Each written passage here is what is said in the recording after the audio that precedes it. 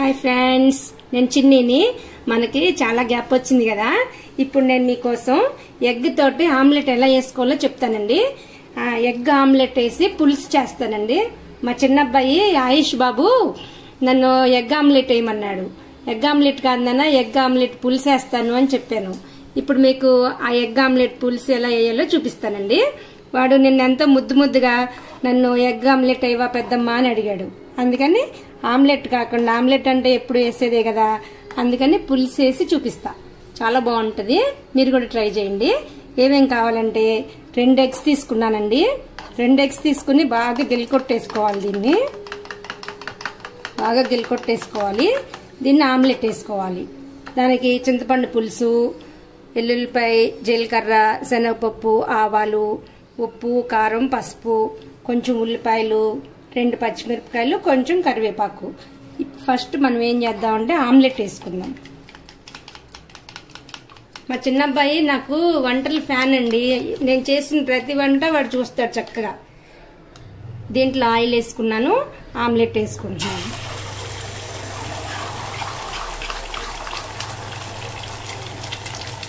దీన్ని స్టవ్ తగ్గించి పెట్టుకుని చక్కగా ఆమ్లెట్ వేసుకోండి.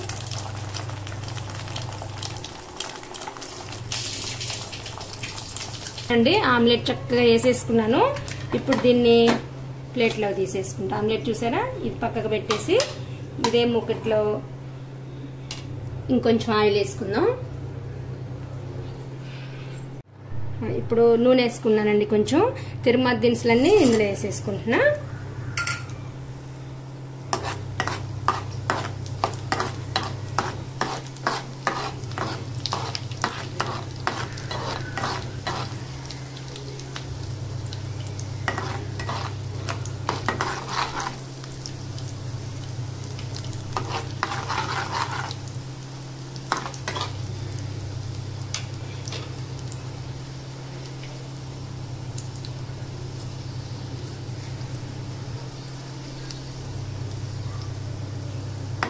తిరుమ తెగిపోయిందండి తిరుమ తెగిపోయింది ఇప్పుడు కరివేపాకు పచ్చిమిరపకాయలు ఉల్లిపాయలు వేసేసుకోండి. కొంచెం వేయించుకోవాలన్నమాట.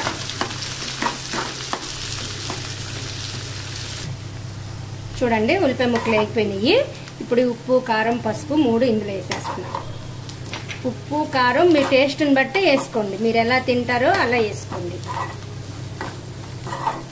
ఇది కలిసిపోయింది. ఇప్పుడు ఈ చింతపండు పులుసు కూడా పోసేసుకుంటున్నాం. ఇది చింతపండు పులుసు కాగే చక్కగా ఉడికేలోపు ఇప్పుడు ఎగ్ ఆమ్లెట్ని కట్ చేసుకుందాం.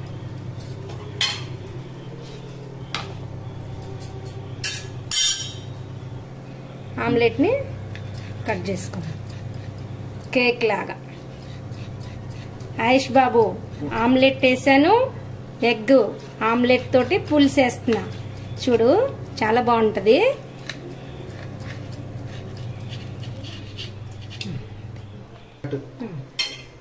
చూడండి పులుసు చక్కగా కది ఉడుకుతుంది కదా. ఇప్పుడు ఈ ఎగ్ ఆమ్లెట్ పీసెస్ని ఇలాంటి పీసెస్ని ఇందులో వేసేసుకోండి. అన్ని చిన్న చిన్నగా పులుసు వేసా రెండు ఎగ్స్ వేసానండి. మీరు కావాలంటే ఇంక రెండు మూడు వేసుకోవచ్చు. మీ ఇష్టం. నా- మేము కొంచెమే చేస్తున్నాను అనమాట మీకు చూపించడానికి కోసం. వాడు మా అబ్బాయి అడిగాడని ఇప్పుడు నేను ఇది చేసి చూపిస్తున్నా వాడికి.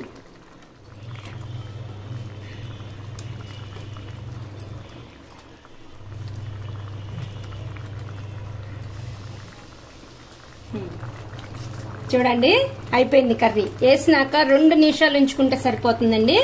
రెండు నిమిషాల తర్వాత స్టవ్ ఆఫ్ చేసేసుకోండి. అంతే. ఇదంతా ఈ పులుసు అంతా దీనికి ఆమ్లెట్కి పట్టేస్తుంది. చక్కగా ఫిష్ పులుసు తిన్నట్టు ఉంటుంది మీకు. చాలా బాగుంటుంది. మీరు అందరూ తప్పకుండా ట్రై చేయాలి. ట్రై చేసి నా వంట ఎలా ఉందో చూసి మీరు నాకు కామెంట్ పెట్టండి. ప్లీజ్ లైక్స్ ఇవ్వండి షేర్ చేసుకోండి సబ్స్క్రైబ్ చేసుకోండి. చూసారా? చక్కగా రెడీ అయిపోయింది. ఎగ్ ఆమ్లెట్ తోటి పులుసు అండి. తప్పకుండా ట్రై చేయండి.